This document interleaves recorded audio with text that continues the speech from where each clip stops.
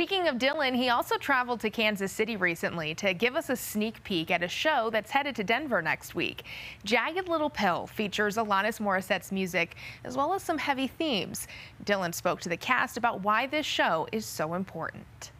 We are here behind the scenes of Jagged Little Pill in Kansas City before they head west to the Buell Theater.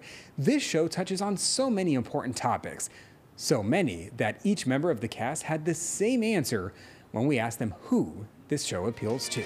I believe that Jagged Little Pill is for all audiences. Even if the themes are heavy at times. I think that it is everyone. The cast of Jagged Little Pill unanimously agreed. Our audiences have no limits. We see we see young kids, but then we also see people my age, but we're also telling this story that really is ageless, colorless, classless. It is. It appeals to everyone. The show is for anybody who's ever felt like out of place. While the show may not be best for really young kids, no matter how old you are, I believe that there's something that everyone, every single walk of life, can take from this show. Your love is thick and it swallowed me whole. To be a part of something that is so multi generational and is so relatable is so, so special. No matter if you grew up on it or only know one or two of the songs. The music of Alanis Morissette shines in Jagged.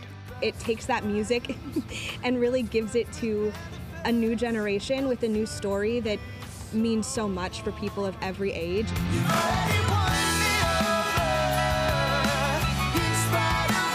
I agree with the cast. No matter who you are, you can find at least one character who you can connect with on stage. The show does this really exceptional job of um, speaking to all of us. While some of the content may be heavy, there are also many moments of laughter and joy.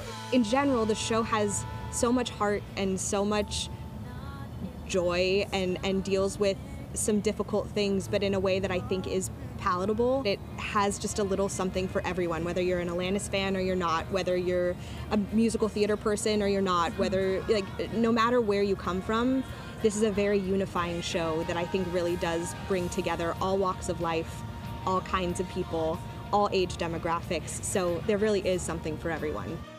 Jagged Little Pill is playing the Buell August 16th through the 27th. For more information on tickets, visit our website, which is cbscolorado.com. In Kansas City, I'm Dillon Thomas.